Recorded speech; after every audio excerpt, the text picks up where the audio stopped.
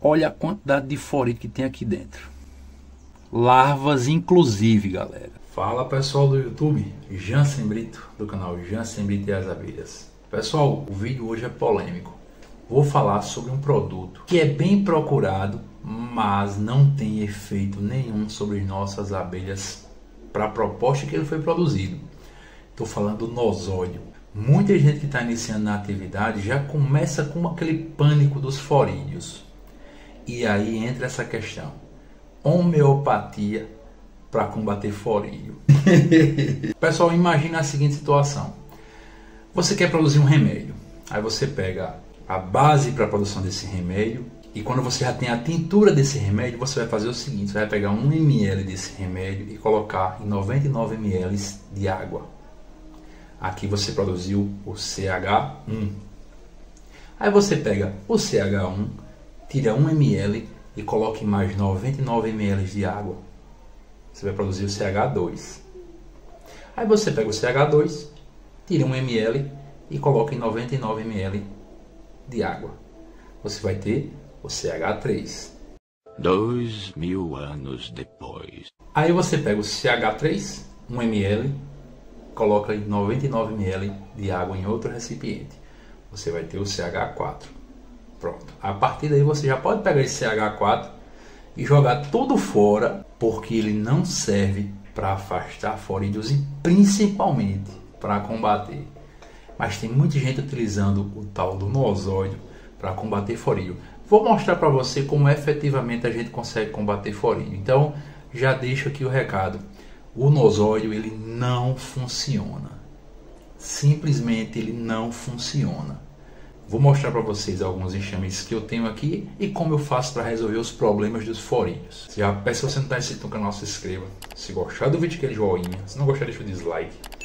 Compartilhe o vídeo para que mais pessoas tenham acesso ao nosso conteúdo. O canal está crescendo graças a vocês. Um abraço a todos, fiquem com Deus e bora pro vídeo. O pessoal que vende ainda diz que ele, além de evitar a chegada do forídeo, ele combate. Eu vou mostrar para vocês uma caixa que tem alguns forídeos dentro. Ó. Tá vendo que tem um forídeo ali passeando? Você tá vendo como tá o gisto de cria? Você tá vendo que as abelhas estão removendo os, os excrementos ali, ó. Olha como é que tá esse enxame. Tem forídeo passeando na caixa? Tem.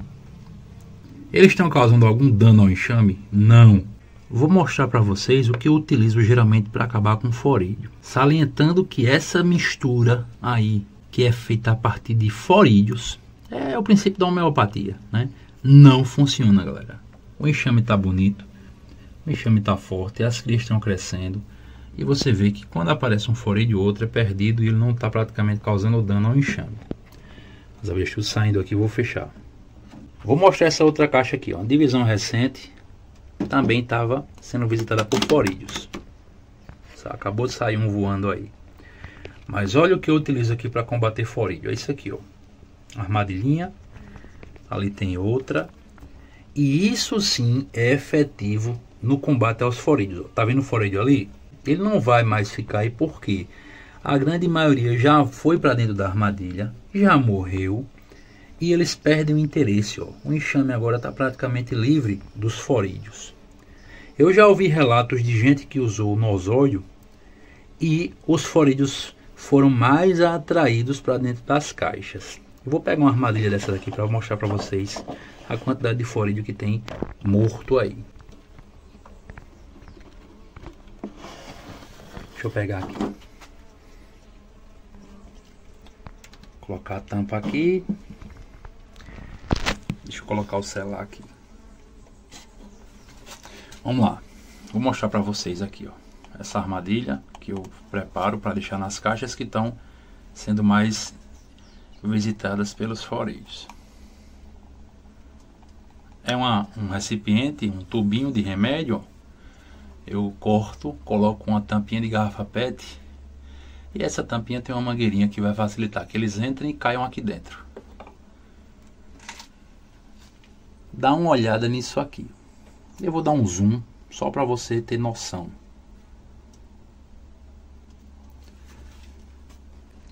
Olha a quantidade de forídeo que tem aqui dentro. Deixa eu aproximar mais. Larvas, inclusive, galera. Você tá vendo as larvas? Eu vou diminuir aqui o líquido que tem aqui dentro para você ver a quantidade de forite que tem aqui. Uma fêmea grandona aqui, larvas, ó. Deixa eu tirar uma quantidade de água aqui e você vai ver a quantidade de forite que ainda fica aqui, ó.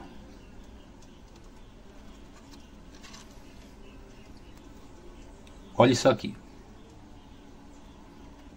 É nojento? É. Mas isso aqui é o resultado efetivo de uma armadilha que captura e mata forilho. Nosódio não mata forilho, não afugenta, simplesmente não tem eficácia contra forilho, galera. Eu estou resolvendo todos os problemas de forilhos aqui no meu meliponário utilizando essas armadilhas, ó. Então aqui o que é que eu faço? Eu deixo a caixa com essa armadilha durante dois dias e simplesmente todos os forídeos, todos os forídeos, inclusive as larvas, morrem aqui dentro. Então qualquer coisa que você fizer para combater forídeo vai ser mais efetivo do que a utilização do nosódio. Esse material simplesmente não funciona. Mais uma divisão aqui, ó. Zero forídeo. Zero forídeo. ainda tem ali um pouquinho de excremento que elas estão juntando. Os forídeos aparecem, você age com a armadilha e simplesmente eles vão embora. Vamos ver se tem cria aqui, galera. Tem aqui, ó. Olha que show aqui, ó. Divisão recente, já com a rainha ali, ó, bonitona, realizando postura. Show de bola mais uma divisão. Vamos ver se também está zero de forídeo. Zero. Eu achei que eu vi um troço passando aqui. É não, achei que era um forídeo. Mas tem excrementos ali, galera, que elas vão juntando, depois remover. Vamos ver se tem postura. Vi agora um macho, um forídeozinho macho ali. Olha que coisa linda, galera subindo aqui, ó, nas lâminas de cereja que eu coloquei, ó. Show de bola, galera.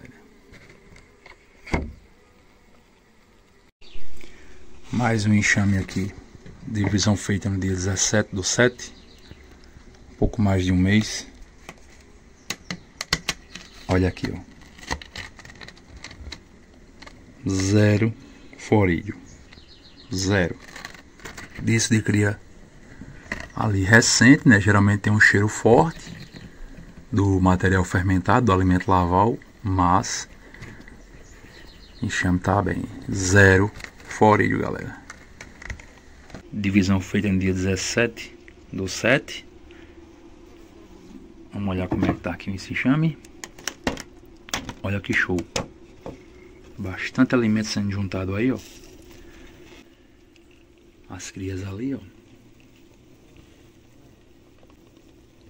Show de bola. Esse aqui para fechar, galera.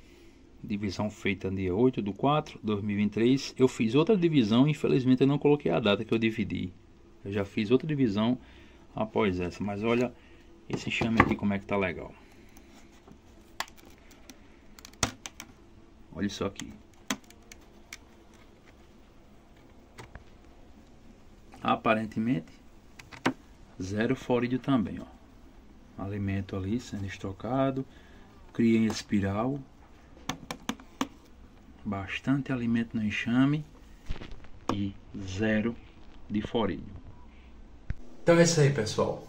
Se você quer se livrar de veios forídeos, faça um manejo adequado, fortaleça seus enxames. Remediar é bem mais difícil e principalmente não caia nessas armadilhas. Tem muita gente querendo vender produtos sem a comprovação de que de fato ele funciona. Um abração a todos, fiquem com Deus e até o próximo vídeo.